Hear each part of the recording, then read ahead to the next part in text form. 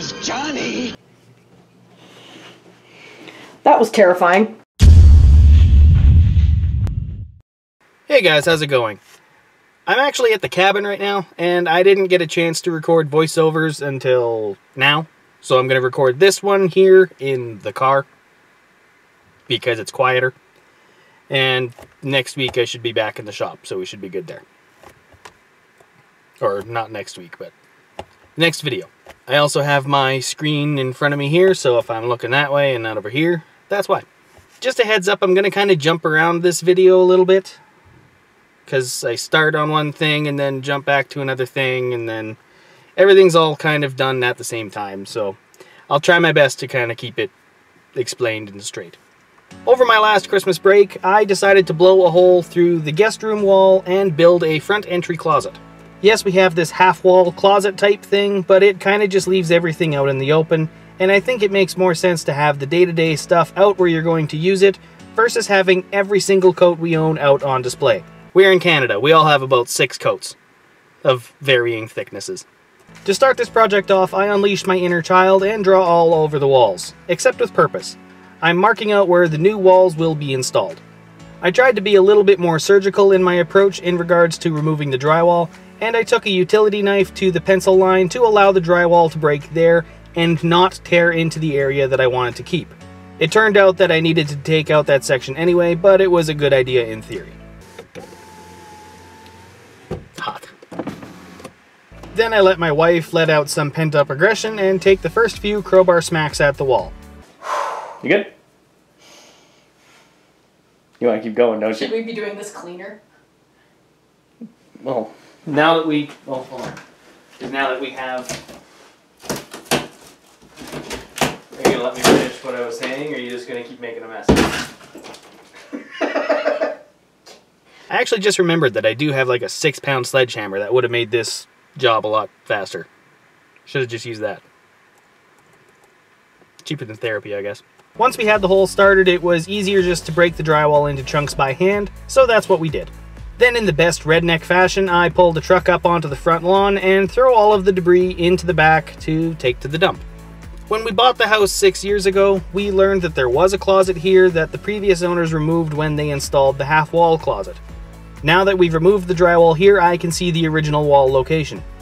So I decided just to build off that as opposed to bringing it out to the location I originally measured out to. Means the closet will be slightly smaller than originally planned, but saves me having to pull out framing just to put it back. That being said, let's start on the framing. Starting with the short wall, I build this section on the floor and lift it into place, and screw it into the adjacent wall, and the floor making sure that it is square with the adjacent wall. And now that I know exactly where my walls are going to be and realizing I forgot to cut the carpet out, I mark out the carpet to be removed, take the new wall back down, cut out the carpet for the closet space, and cut out the carpet tack strips with the oscillating saw. I figured now was a good time to try and plan out my wiring alterations. If you haven't noticed, there seems to be a outlet square in the middle of what will be the closet door. So now with the floor cleared out, I decided to break into the floor with a plunge cut with the circular saw to remove the plywood subfloor, and then a jigsaw to get through the slat floor. I was happy to discover that this was in the middle of a joist bay and the electrical cable coming through the joist bay could be easily rerouted. Oh, perfect! Suffice it to say, I was really happy I didn't have to go through the basement ceiling to change this. More on that later. Oh man, I'm gonna have to cover this up because guaranteed here is gonna go for a voyage in the floor. Oh, yeah.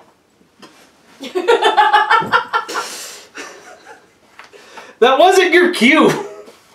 To make sure I don't break my ankle in the joist bay, I just throw the plywood subfloor piece back in place and carry on with reinstalling the new wall.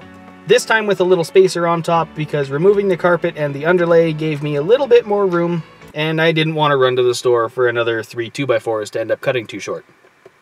For the next section of wall, I decided to go with the stick build option and build the framing right in place, which I think actually went easier than if I had done it on the floor and stood it into place. Not having enough floor space to do that might have weighed in a little bit more on that decision. Having a plumb line drawn on the wall to work off of, I installed both the top and bottom plates and measured and cut the studs to length as needed and then toe nailed them into place at 16 inches on center.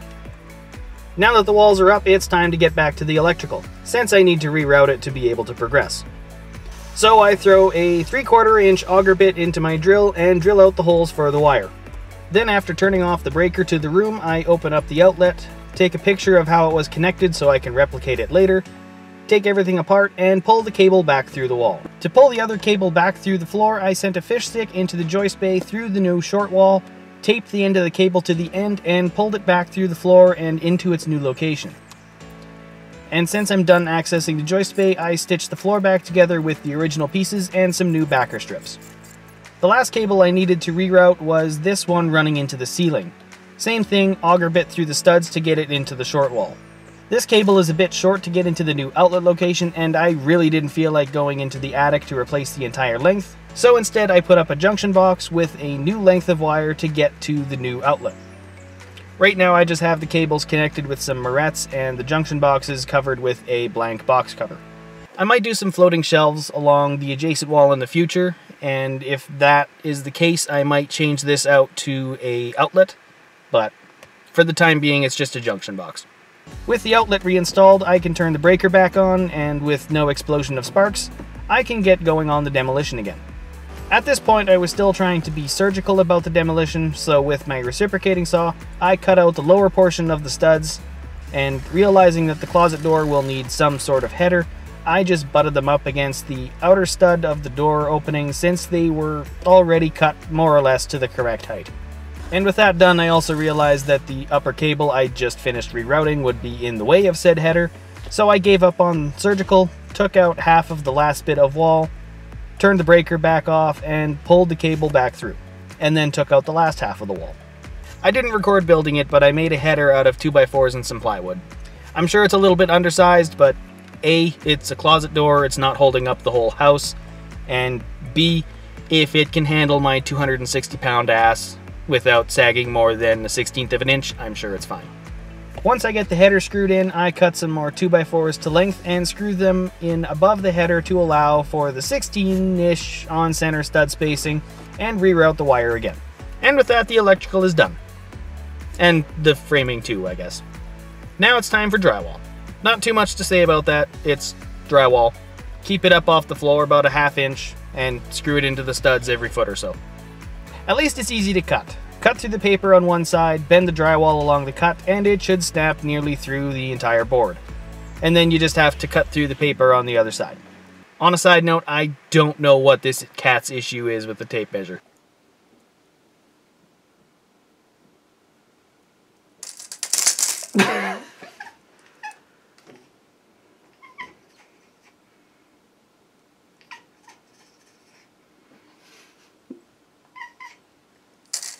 Get don't.